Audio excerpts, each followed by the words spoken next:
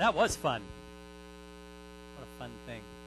Well, we're continuing in our series here that we're calling House Plans. How do we build something that will last?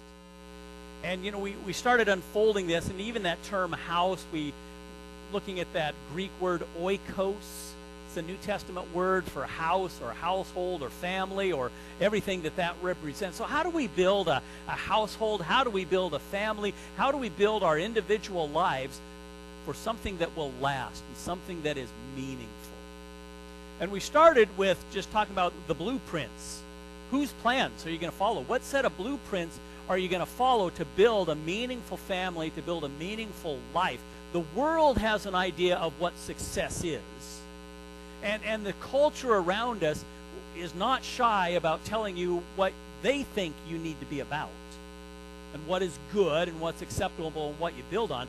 But there's, well, that it doesn't work. It's proven not to work. There's another set of plans. Follow God's plan. We follow God's heart for us as we build our lives, as we build our families, as we build our oikos. We looked last week at foundations. If you're building anything, you got to start with a good foundation. You can make it look pretty, but you can't make it last if you don't have a solid foundation. And I love that that quote, that line from my friend Chuck. If the salvation, no, if the foundation is sound, the rest can be fixed.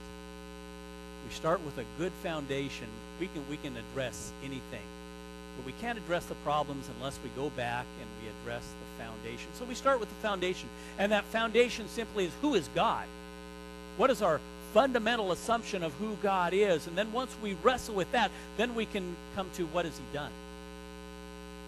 Who is God? And then what has He done? And what is true about us as a result of that? And then we can go to that fourth question what should we do? Then we can start building on that. Today, I want to talk about framing for for strength and character. Framing for strength and character. You know, it wasn't intended, but it, it's a delightful coincidence, a happy accident that across the alley here, we're finally getting going on our youth ministry building. I don't know if you've noticed that. As you leave today, just go back down the back of the parking lot and drive by and see they've got some framing up. It was delightful to watch them do the framing. Last week, um, the, the, foundation was in, but last week they started putting the sill plates down on the foundation, just started building on the foundation. This week, they started building the walls. They started framing walls. And I thought, wow, that's a great coincidence because we have a living illustration right out our window, right out my back window. So I went down and I talked to the crew and just thanked them for doing that and being on target with us and, and let them know that we're going to wrap up our series in two weeks. And if they could be done in two weeks, that would be great. They said they'd try. We want to talk about framing today. Framing the walls. You know, when we start framing the walls, in a, in a building program, when the walls start going up, you start to get a real good sense of what that building is going to be you, you, you can begin to see it and anticipate it and enjoy it. The plans, well, that anticipates, and the foundation prepares. But when you start framing, you start to see the character, you start to see the shape, you start to see the function of the building, and the excitement grows.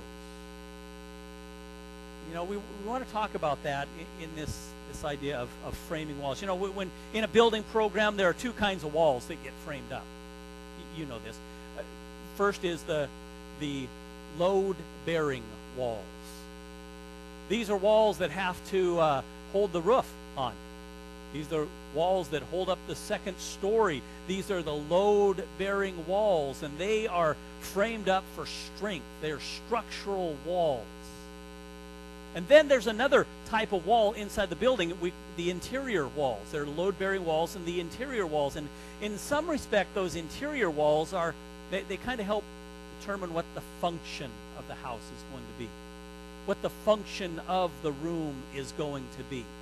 And in some respects, it kind of speaks to the character, what, what it's going to look like inside. Is it going to just be square and boxy and, you know, pretty plain? Or is it going to be elaborate? Is it going to be soaring, vaulting ceilings? You know, so those interior walls begin to define how the rooms are going to be used. Well, if we follow that with our series and our sermon illustrations, we, we realize that these walls, spiritually speaking, speak of the standards, the boundaries, the barriers, the things that, that shape our lives individually, that shape our families, that shape our household. These, these are the barriers. And there are two types of barriers, there are two types of boundaries that we need to have in place according to God's plan to enjoy a successful family or to, to have a life that is meaningful, that, that is built to last. There are the load bearing walls. And in our analogy, we would liken those load bearing walls to the immutable standards of God. These are the laws, these are the commandments, these are the standards that carry the weight for us. And they're unchanging. We don't yield with those, and we don't tamper with those, and we don't try to adjust those. These are the immutable standards of God. But then at the same time, then there's some interior walls that we put up. And those are the walls that give shape to our family. Those are the walls that help us function. And where the load bearing walls would be, we would call them the immutable standards of God. Maybe the interior walls we call the, the standards of the family or the family standards.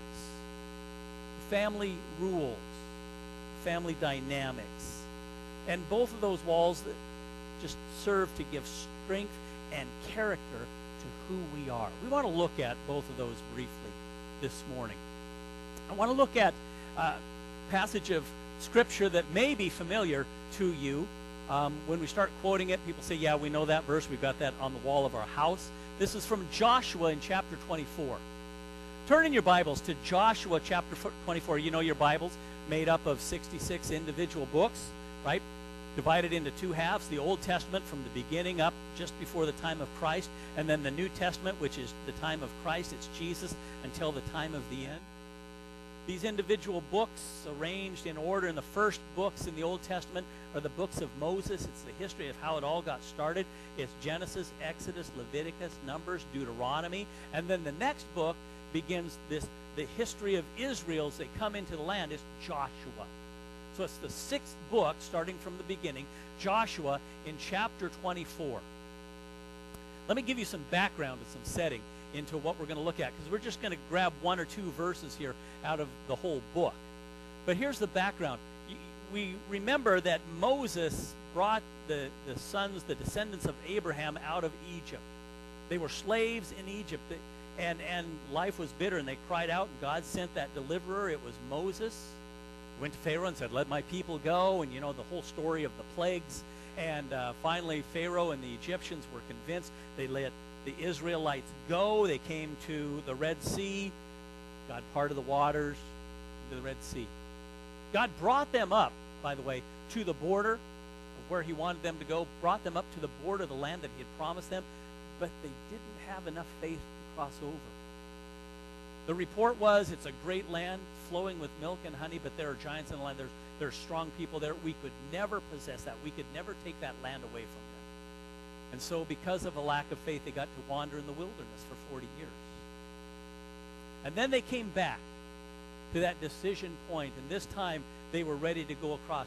Moses wasn't allowed to lead them across the Jordan River into the land of promise. That was Joshua's so Joshua led them across the Jordan River into the land. And then there was that whole series of, of, of, campaigns to take possession of the land that God had promised them. There was a season of, of warfare as they took possession of what God had promised to them.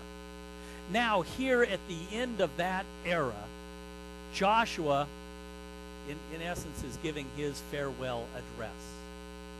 They've gone through that process of taking possession of the land, and sometimes they did that well, and sometimes they faltered in that.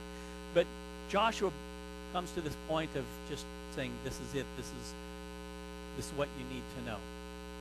And in that in that season, that farewell address, Joshua gives these final instructions. Chapter 24, we, we read, and it, it much of it is a review, a rehearsal of their history. That God did this, God did this, and He brought them up, but they were disobedient, so God had to do this, and they were obedient, so God did this, and just reminding them of all of their history. And then He brings them to this point, this decision point. We're in chapter 24, and it's verse 14. It says, Because of everything God has done. Now, therefore, fear the Lord and serve him in sincerity and truth. And put away the gods which your fathers served beyond the river and in Egypt, and serve the Lord. Verse 15. If it's disagreeable in your sight to serve the Lord, choose for yourself today whom you will serve. Stop there. Brings him to this point to say, you just need to choose. Who are you going to serve? Who are you going to serve, and what's that going to be about? Now, don't get that wrong. This is not Joshua saying, you know, one choice is as good as another. Don't go there. This is not Joshua saying it doesn't really matter what you believe as long as you're religious, as long as you're faithful to serving something, so just choose one of those options. I'm going to choose this option. It's not what he's saying. What he is saying is simply this that you need to make a choice, and it's not going to happen by accident serving the Lord doesn't happen by accident. You have to make that a purposeful choice in your life. And by the way, the choices that you make have consequences. You've got to choose today who you will serve. And then the follow up of that. That next part. And this is the part that is familiar to many of us. Joshua uh, coming back to that statement. Verse 15 if it's disagreeable in your sight to serve the Lord, choose today whom you will serve, whether the gods which your fathers served, which were beyond the river, or the gods of the Amorites in whose land you are living. Here it is. But as for me and my house, we will serve the Lord. You know what he just did there? Put up a wall. It was a framing wall. That was a load bearing wall that he just established. As for me and my house, we will serve the Lord. You know, it, it's interesting. You know, just before that, he commands the people to choose, make a choice. You have to make a choice who you're going to serve. The God who delivered you out of Egypt, or the God in whose land you're you're living, or the gods that were worshipped back in Egypt. You just have to choose. He, he calls the people to make a choice, and then you see what he did? He made the choice for his household. Joshua made the choice. Choose who you're going to serve. But my family, they don't get a choice. We're going to serve the Lord. Joshua set the standard for his family. Now, it's Old Testament, so they didn't use the New Testament word oikos, but that's what it is. As for my oikos, as for my household, as for everybody associated with me, here's the standard. We serve the Lord. Now, what's involved in that? What's involved in serving the Lord. certainly, it's much more than saying we agree to this theological theory of God. It's not just agreeing with some religious philosophy. It says we will serve the Lord. Well, first of all, to serve the Lord, you have to come to this understanding that there is one to whom we must submit. Maybe you write that down. There is one to whom we must submit. There is one who is rightfully Lord. We're going to serve him.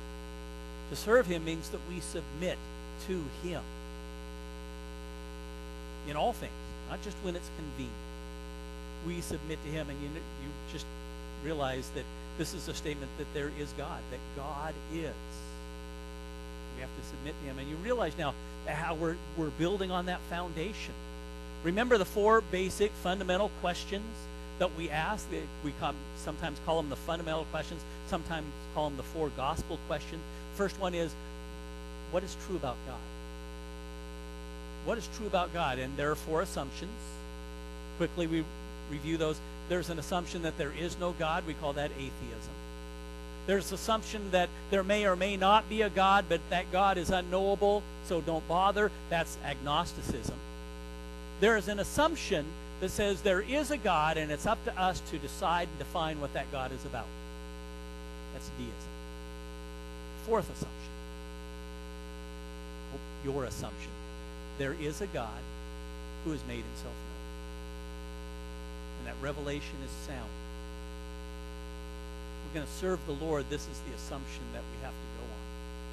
Because if there's no God, then there's nobody to serve. If there's a God who is unknowable, then why bother serving him? If there's a God who is up to us, he's defined by our opinion. We're really not serving God, we're serving ourselves in our opinion.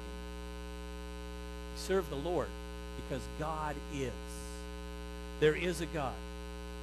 So what we do is because of who he is. We will serve the Lord because we're convinced that God is. He's the one that we have to submit. Here's another phrase that we don't always think about when we, we talk about serving the Lord. But to serve the Lord means that our lives are ordered for his pleasure. Think about that for a minute. Our lives are ordered for his pleasure. To do what pleases him. Now, automatically, that sets up this, this conflict.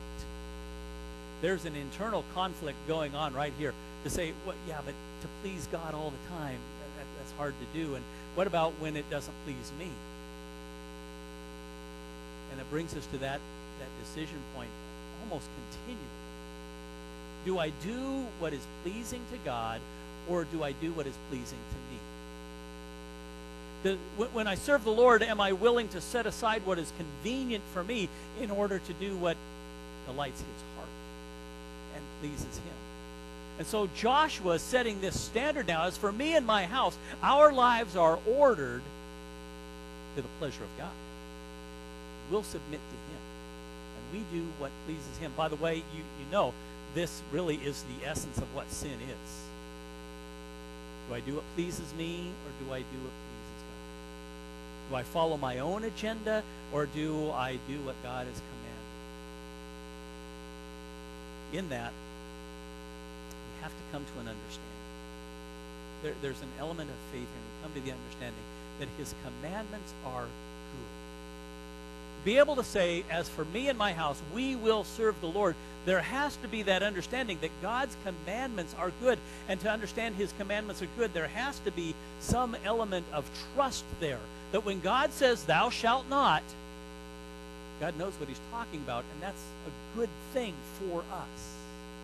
When God says, thou shalt, he knows what he's talking about, and that's what we need to be about because it's good for us. Ultimately, it's beneficial for us. His commandments are good, and his commandments aren't burdensome. His commandments aren't to keep us from what is good, even though the world defines it a different way. We have to have an element of trust that God is big enough, wise enough, present enough, loving enough to put us in a direction that is good. So when we set that standard for ourselves and for our family that we will serve the Lord, we have to come from that foundation that serving the Lord is good. This is ultimately the best thing that we can do. Not always easy. And it's not always pleasant in our eyes, but it's always.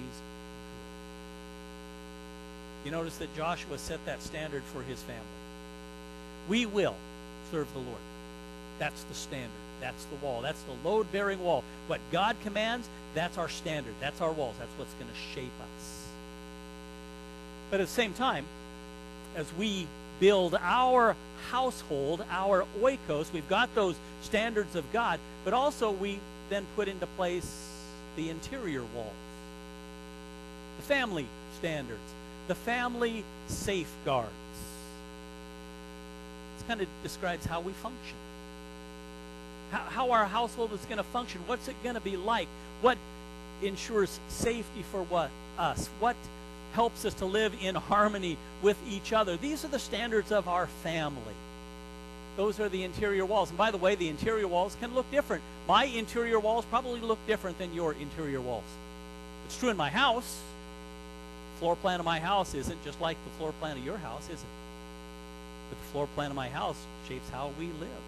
The floor plan of my household, the interior walls and boundaries of my household shapes how my family functions. Might be a little different than your standards, your walls, but they're important. You know, think about um, these interior walls, these family standards. I, I use this phrase as we talk about the standards of our family. Use this phrase: "In our family, we." Then you fill in blank. Because this is what our family always does. This is the standard of our family, and, and the whole family knows it. In our in our family, we do this. Now, I have to admit, as I looked at that phrase this week and tried to answer the question, okay, what was true, what, what is true, what was true in our family growing up, there was actually only one time, only one incident that I can actually remember using that word. And I think my daughters probably know it. In our family, we. Emily, what is it? In our family, we.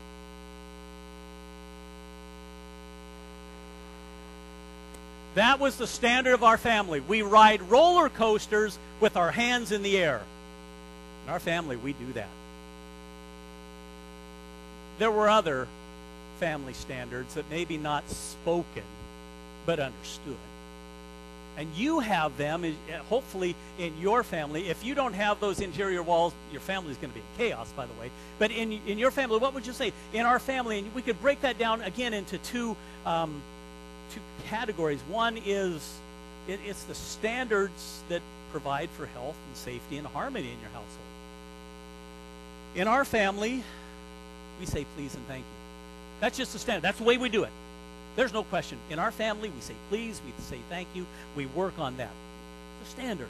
You have that standard. By the way, you don't have to have all, you should have these standards, but you know, your standards look different.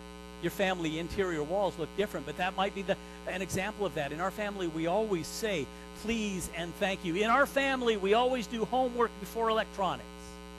That's just the standard of the family. That's the rule. We always do it that way. In our family, we always let somebody know where we're going. We don't just wander off. Somebody always has to know where we're going. That's the standard. That's the rule. That's the law in our family. You take that further and just think about safety and health. You know, you might say, in our family, we just don't do sleepovers. Just for health, for safety, for protection. We just don't do that. That's a standard for our family. And, and you know, there, there are a lot of different things that we could plug in there, a lot of different things we could finish that statement with. In our family, we always do this or we never do that. And those are the standards for health, safety, harmony. But we also set standards that help shape our relationship with Christ. In our family, we make Sunday a priority. In our family, this is going to be the rule, and, and sometimes we fail on this, but in our family, we're just determined this is going to be, this is the law, this is the rule. We're going to make Sunday a priority. It comes first because that's important to us. We always, most of the time, we make Sunday a priority. In our family, we could add to that. In our family, we're selective in what we watch. We're selective in what we, we feed into our lives. We're selective in, in, in the type of movies we watch or the kind of music we listen to or even the type of video games we play. In our family, this is our rule. Your family might be different, but here's the rule in our family. It's an interior wall. In our family, we don't use that kind of language. In our family, we pray before meals. In our family, we try to do devotions. You know, it's, whatever that standard is. Those are the things that help build and shape us to give safety and protection and harmony. And by the way, you know what? Those interior walls, when we insist upon those as a family, when we just set family rules, you know what that does for us? You know what that does for our children? It helps them to understand God's rules, His standards. When we set the standards and say this is the law, and maybe not say it that way. This is the standard of our family. We always do that, and we insist upon that. You know what you're doing? You're helping your child understand that God has standards that we always meet. Turn that around and say it negatively. A child who has never been made to obey his parents will have a really tough time learning how to obey God. A child who has never had to submit his will to somebody else will have a really tough time submitting their will to a Heavenly Father. So it's just part of that training. So, in that training, by the way, you train your children to a, a habit of obedience. That this is just what we do that we obey. And you know how to do that because you follow our rules all the time. Now we follow God's rules. Habit of obedience. You, by the way, when, when back here with Joshua, when he says, Me and my house, we will serve the Lord, how do you think that played out? Think Joshua then went back to his family and, and pleaded with them to serve the Lord or or bribed them to serve the Lord or cajoled them into serving the Lord? I don't think so. I think I think Joshua commanded obedience. This is the story. Here's how we live. Parents, train your child to a habit of obedience. Train your child to a habit of faith and a habit of trust. Really all that you need to know is that you trust me, and when I say something, it's good for us. Train your child to a habit of trust. So when Joshua went back to his household and said, We're going to serve the Lord, and they said, Why? But why? You see, why, you know what why is in the, in the life of a child? Why is a measured response as to whether or not they want to obey. Is the reward sufficient enough? Is the consequence sufficient enough that I can choose to obey or not? Do I agree with the reason? Train a child to a habit of trust so that they can obey you. You know why? Because that puts us in a position to be obedient to the Lord. Because when God commands, there, there are times when God says, here's why. Often when God instructs his people, it doesn't come with the why. It says, obey first, then you'll understand. It's foundation. It's the things that shape our families. It's the shape, thing that gives strength and character to our families. The immutable, load-bearing standards of God's Word. And then it's the family standards health, function. An important thing. But it all comes back to this. It's based upon who God is and what he has done. This morning, we want to, uh, in our final minutes, we just want to spend some time here at the Lord's table. I, I would ask our elders to come to the front here as we do this. Because this is, this is the response. This is the response to who God is and what he has done. When we come to the Lord's table, I have to say it every time, these elements aren't magical. This little cup of juice, this little piece of bread, this does not make you right before the Lord but it reminds us of what did. It reminds us of the sacrifice of Christ, Christ that the eternal self-existing God took on human flesh to go to the cross for us, that he gave himself, he gave his body for us, he shed his blood for us, and that's what makes us right before our Heavenly Father. And so as we partake of this, we look back at that sacrifice. We say that's the sacrifice partake of that is as if we're saying, this is what I trust, nothing else. I don't trust my goodness. I don't trust my efforts or my sincerity. I trust Christ sacrificed for me. So we look back, but you know what? At the same time, it's our living response. In essence, when we take that, we're acknowledging that there is God. And we remember what he did for and we remember who we are in light of that, that we are redeemed, we are the children of God, and, and we are loved, accepted. And then we can come to that last question. So what should we do? As for me, my house will serve the. Let's make that our.